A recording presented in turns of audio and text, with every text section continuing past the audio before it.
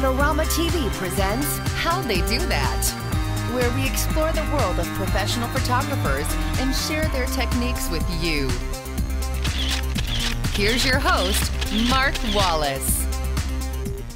Hey everybody, welcome to this week's episode of How'd They Do That. On the show this week, we have Tamara Lackey. Thank you so much for joining us today, Tamara. Thanks for inviting me. Well, we have a lot to talk about. In fact, let me talk a little bit about who you are so people will know. Tamara has been featured in magazines all over the place. She's been in Rangefinder Magazine, Professional Photographer Magazine, Image Maker Magazine. Her work has been shown in Vogue, O Magazine, Town and Country, uh, Inside Weddings, Parenting Magazine. I mean, she's been everywhere. And in addition to that, she has a lot of her work has been shown on some TV shows. She's been shown on The Martha Stewart Show. Her work has been featured in uh, ABC's Extreme Makeover Home Edition.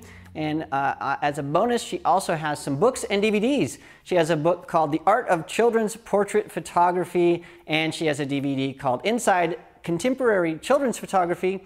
And recently, she was featured in a three day live show on Creative Live. And she's done a lot more than that, actually, but we just, it'll take me forever to go through everything she's done. But that is Tamara Lackey. So, again, Tamara, thank you so much for being here on the show today. There's one thing that I noticed so much about you that is uh, just inspiring, and that is that you do a lot of giving back. I mean, you do a lot of teaching, you uh, give back to the photography community. So, um, is, is that something that is sort of uh, one of your core beliefs or something that you really love to do? Why do you do so much uh, teaching and giving back to photographers? Yeah, I mean, I think we have a relatively rare community in um, photography. As if you think about most communities of industry, like um, whether it's plumbing or, or whatever the case may be, where a lot of people, I think, um, really interact very well, want to share a lot of knowledge, um, want to communicate. And the response you get when you are sharing and giving and teaching is pretty incredible. Um, I've had all kinds of exchanges with people later that turned into longer friendships and um, just more compelling interactions. And so there's a lot of reward in that, for me at least. And I know I'm not alone in that. You do quite a lot of that too. Yeah, and I, I, find that when I'm teaching, I learn a lot as well. So it's, it's beneficial just uh, in a lot of different ways. Well, let's talk about your photography. You're a portrait photographer, um, and you have a, a, very unique style. So, can you tell us how you approach portrait photography? Yeah, sure. Um, I am a big believer in um, really nailing down the technicals and um, paying a lot of attention to getting it right as best you can in camera. That being said, um, I certainly go for mood of my subjects probably over everything else, um, assuming I'm lighting everything else up. So, a lot of my photography and style um, if you know, kind of put some words to it, is I care a lot about the exchange and the interaction um, and the the look and feel of my subjects. Uh, I'm very much focused on people as as a photographer, so obviously the portrait thing works out really well. Um, and although I have done um, a lot of uh, commercial work or editorial work or photography of products and such, um, it's just not nearly as engaging for me as photographing people. So when I, when I hear feedback about the style, um, a lot of it has to do with the exchange I think that the viewer can have with the subject later, where you can really see a lot of spark of life or expression or emotion. Yeah, and one of the things that you do so well is, is that interaction with your um, uh, subjects. But um, a lot of people that are trying to do that when they're just starting out or they've even been shooting for a while, uh, are really concentrating a lot on the technical aspects of their camera, you know, shutter speeds and aperture values and making sure their flash is all set right and those types of things. How do you get from the point where you're worried about your camera settings to the point where really your main focus is interacting with the subject? What are some of the guidelines you would have to get from A to B on that? Yeah, okay, I think that's a great question. Um, I put a lot of emphasis on uh, training in the first couple years of my business. My, if I had to think about what I was really caring a lot about. It was building a solid structure. Um, and uh, I, I, had the understanding to build a solid structure for business, but it took a couple years for me to really stop everything I was doing and go back and, and really lay down the foundation I needed for my business. But in that time, I studied the, the technicals you know, a lot, and not just okay, what does ISO do, what does aperture do, what does shutter speed do, but how do they work in harmony? What can I bring in to adjust the look and feel of my shots, and how can I just get this so second nature so I don't have to be here? And I liken it to um, listening to a concert pianist, for instance. Anytime that they're thinking about what keys they're hitting, you are completely jolted out of that experience, the emotion of it. And I think it's the same thing with interaction. If you have got this to the point where you're not thinking about where the keys are and it's just so second nature to you with photography, then you can be completely engaged with your subject and get all kinds of expressions and emotions you're not going to get if you're just looking at your camera or checking the back of your LCD. Um, and so even though there are times while I'm in the middle of a shoot where I'm absolutely changing my settings often because I do shoot in manual mode, um, I'm doing so in a way that is consistently engaging with my subject. And I think that if I were to break and treat these as separate activities, one is engagement and one is um, really paying attention to my camera, then I lose that momentum and that flow, and my end result's not going to be nearly as impactful. Yeah, and I love that analogy of the concert pianist. Um, and I think, like a concert pianist, if you ever want to get to that point where you're that proficient, you have to practice and practice and practice. And you never stop practicing. You have to practice every single day. Do you still find yourself uh, tweaking and learning and, and practicing even today? I, I, absolutely am still practicing. And what you said earlier about um, learning as you teach, that's absolutely true because you can know something in theory, you can go out and practice and try it, but it's not until like the nth time that it's actually part of your toolkit. And so I find that if I'm just sitting there um, photographing a family at the park, for instance, I'm going to be bored out of my mind if I'm using the exact same settings and I'm putting them in the exact same spots. And I, I have to shake it up, and I've got to try new angles and perspectives and um, funky angles in terms of um, different widths of my the lens I'm using and shallow depth of field or extended field of sharpness or anything. And, um, and I want to put challenging work in where I'm trying to shoot this whole thing at a, at a 2.0 for a family of five and get a place where I can actually do it. Um, knowing that I get my safe shots, but I, but I have to keep playing, and a lot of that playing is with the technical specifications of the equipment, you know? Well, it's always interesting stuff. Uh, let's talk a little bit about the cameras and lenses and some of the technical things that you do use. So can you walk us through sort of what's in your camera bag on a normal uh, uh, portrait photography shoot? Um, yeah, I shoot with the, I shoot Canon and I shoot the 5D Mark II, the 1D Mark II, which is officially now um, pretty much an ancient camera. It's about five years old. And the um, 2470 2.8 lens, the 85 1.2, which is probably my personal favorite.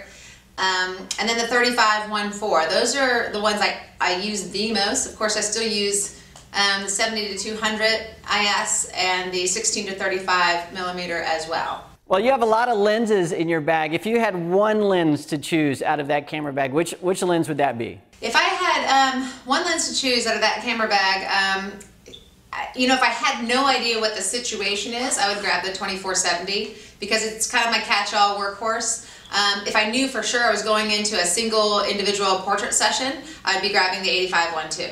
All right, well, let's talk about something specific to your portrait photography, and that is your children's portrait photography. One thing that I have never been successful with is shooting kids. So tell us a little bit of how you approach uh, children's photography and make it look so good. The way I approach children's photography is very much focused on the personality of the children. And so I try to spend a lot of time thinking about who they are and um, I think a lot about personality typing. And again, I only have a couple hours with them, so all I have to really consider is how do I think this is going to go for the next two hours and how can I respond best to that. Um, and I find that putting a ton of attention on simply the relationship that I'm going to have and the interaction we're having. Um, and again, I've already, you know, I'm not thinking so much about the technicals because I, I, feel like I already know what I'm doing. Um, the only other considerations I have, I have to have really is how to keep that exchange going and take photographs along the way. Awesome. So if you had um, somebody that was a brand new photographer and they've been shooting maybe portraits for a while and they wanted to start shooting children, are there some things that you would suggest that they do to learn how to have that interaction and be successful? Yeah, I would think if um, the, the thing to keep in mind with children is based on their age, they're either going to be or not going to be lens aware. And um, probably the first thing you can do as a new shooter is to evaluate what's happening. Is the child um, if you know, a toddler, for instance, may have no consideration for the fact that you're holding a camera with a lens on it, whereas a five-year-old may walk right up to you and give you that smile that they smile for every single shot that ever gets taken of them. And so by starting there, you know, as a, as a point to help you decide whether you're not going to go into focusing completely on getting them to ignore the camera so you can have a genuine exchange Um, or are you going to go the other way and get them to be more aware of the camera so you can actually get them looking in the direction you want to get the shot you want? So that's where I would start when I think about interaction, first time shooter. Um, and again, if you're paying a lot of attention to the interaction, make it easy on yourself and start with a really simple place to shoot and um, just shoot in a very simple manner. Like don't try to trick it out too much and do a hundred different lens changes and all that sort of stuff. Just start with a basic setup and just kind of get better and better at thinking about how to have that exchange and shoot accordingly. That's awesome advice. Um, and I want to remind people that there is a lot that Tamara's talked about with shooting children on the Creative Live webinar she did. It's actually three days of stuff, so it's, it's hours and hours of content, so don't forget to check that out. Well, speaking of teaching, you actually have something that just came out. It's called Capturing Life Through Better Photography. Tell us a little bit about what that is and what people can expect from it. Yeah, that is basically um, kind of my end result answer to a question I've been asked for a number of years by people who just pick up a camera and they don't want to become a professional. They don't necessarily want to make a career out of this, but they want to be able to better photograph the, their lives that they're having, whether it's their kids or um, nights out with friends or at the sports game. And, um, and so they don't necessarily want a, a, whole tutorial on every single breakdown as it comes to um, aperture and all the lenses out there. They're just saying, okay, I already have this. I don't want to spend a lot more money. How do I use it better? And that's how this product was created. I co-created it with Rex Ballard, who's the director of photography with Extreme Makeover Home Edition. Um, he brought in a lot of cinematography um, expertise in terms of setting up the looks and feels, and we created a DVD, a 100-page book, and a quick reference guide that also has an iPhone app complement to it. And that all literally re released this week. Um, it's for sale um, in a couple locations, including Adorama. And, um, and uh, yeah, we're really excited about it. It was a ton of work, way more work than I honestly imagined. Um, but we're really, really happy with the quality of the product. Yeah, and um, I can relate to that. I actually got a sneak peek of the DVD at PPE when uh, you were at the booth, so I saw some of this work. In fact, uh, that's when I met you, and I saw this video, and I thought, holy cow, who is this? Because this is beautiful, and I was very jealous. I was instantly jealous of how amazing this DVD was. And so that's my first impression of you was this is really, really cool stuff. Um, and people could see that at your website. It's capturinglifebetter.com, um, and it's also available uh, at Adorama. Well, um, Tamara, we are out of time. We could talk to you for hours, I'm sure, but uh, we have to limit it. So thank you so much for joining us here today. Thank you very much. I loved it.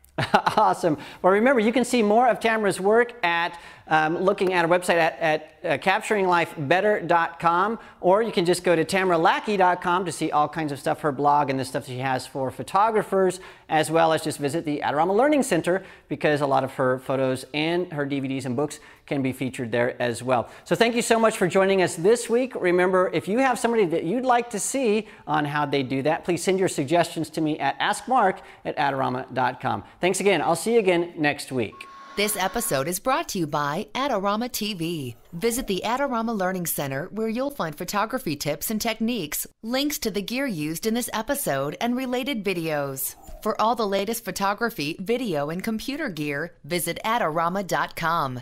And the next time you're in New York City, visit our store located on 18th Street between 5th and 6th Avenue.